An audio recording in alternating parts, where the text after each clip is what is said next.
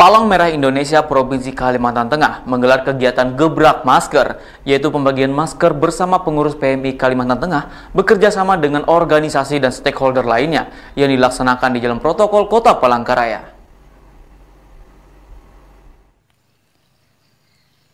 Gebrak masker yang dilakukan PMI Kalteng ini mengambil starting point di kawasan Jalan Ahmad Yani, Kota Palangkaraya, dengan melibatkan sejumlah pengurus PMI lainnya – Jumlah masker yang dibagikan kepada masyarakat sebanyak 500 helai, berbahan kain produk kearifan lokal khas Kalimantan Tengah. Kegiatan ini dipimpin langsung oleh Sekretaris PMI Kalteng, Hajah Siti Nafsiah. Di sela-sela pembagian masker, Siti Nafsiah mengatakan sangat mendukung program pemerintah dalam penanganan pandemi COVID-19 khususnya di Kalteng untuk masyarakat agar mematuhi protokol kesehatan, salah satunya dengan menggunakan masker. Di Kalimantan Tengah hari ini sesuai dengan uh, surat edaran gubernur dalam rangka memperingati Hari Kemerdekaan Republik Indonesia yang ke-75.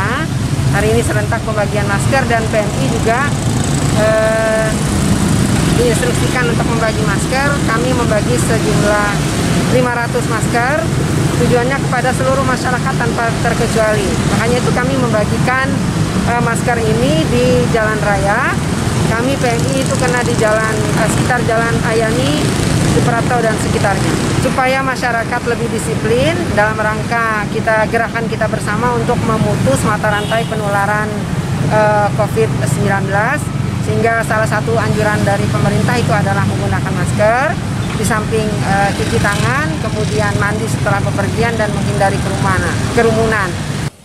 Pembagian masker gratis ini pun tujuan utamanya agar masyarakat sadar pentingnya melindungi diri dari paparan COVID-19.